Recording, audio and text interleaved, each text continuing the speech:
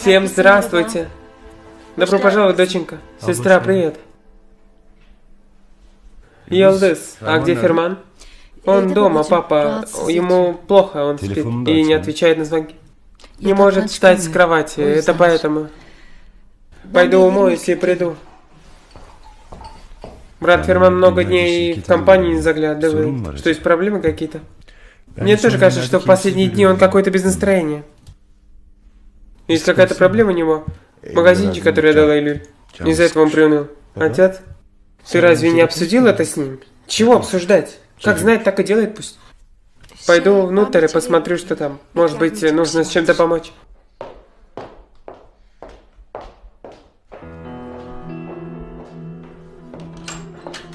Назош, чем помочь тебе? Скажи, я сделаю. Присаживайся, дорогая, я почти закончила.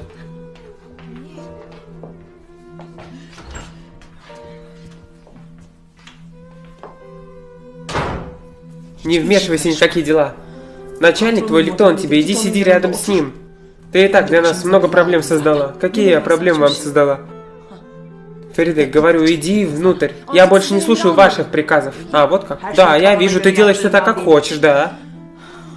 Но больше не вмешивайся в чужие дела. Что я опять сделала? Ситуация Люль пошла и рассказала Джунейту.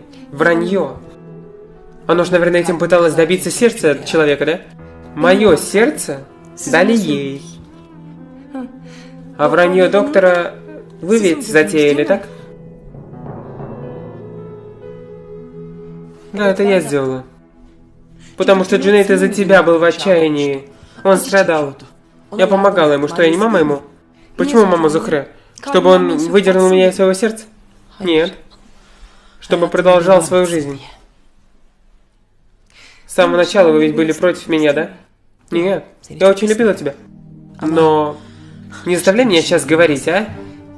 Когда Джунейт сделал мне предложение руки и сердца, если бы вы не остановили меня, мы бы не переживали все это.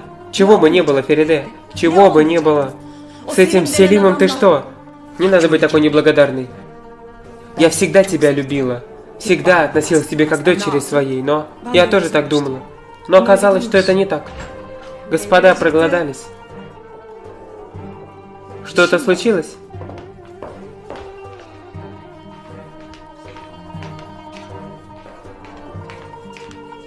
Ты это сделала, да? Что случилось с мамой Захрой? Фериде поняла, как мы отвертелись от вопроса с доктором. Я не рассказывала. Пускай гости уйдут, мы с тобой поговорим потом.